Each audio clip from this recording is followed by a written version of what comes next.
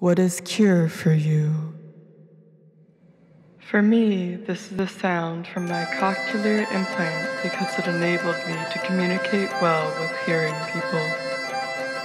I don't think there is such a thing. Something that I'm allowed to say that I want, but I don't want the world to force upon me. I would say that cure is a fiction.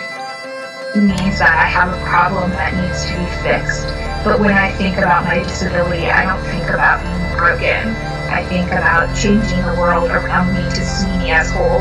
Um, and cure doesn't have a place in that. I hate that word. oh. I wish they had driverless cars. That way I'm not waiting as long as two hours just to get a ride somewhere. And being able to afford everything I want on my own would be great. And being able to work more hours and make more money would also be cure. I don't necessarily believe that a cure is 100% scientific. I think that a lot of cure comes from within. For me, cure doesn't exist because I think it's unnecessary. I think it does our society no good. I think that the more diverse we are, the more equipped we are to modify our world in a way that it reaches its fullest potential.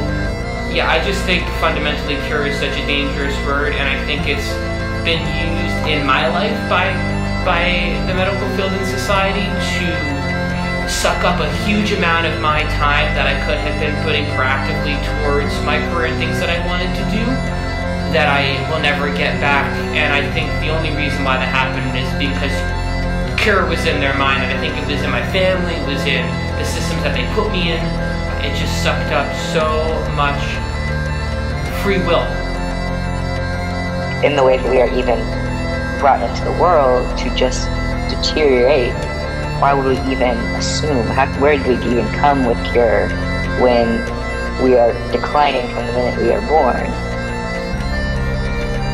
A lot of people with chronic illnesses, for example, are able to say, you know, I, I really wouldn't mind if there were a cure here. It's not just disability identity that I want to celebrate when I am in chronic pain or am sick all the time. Well, I don't think I can ever be cured. For me, becomes scary so quickly.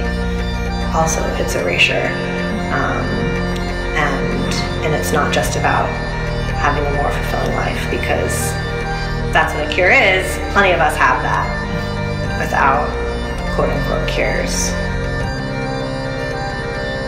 So if a cure were to change me back to who I was, a small part of me goes, yes, I want that. I want to be part of who I was. Now there's also that thought going, can you go back to who you were? Because all the things that has happened since then have changed who I am, how I think, and how society accepts and looks at me.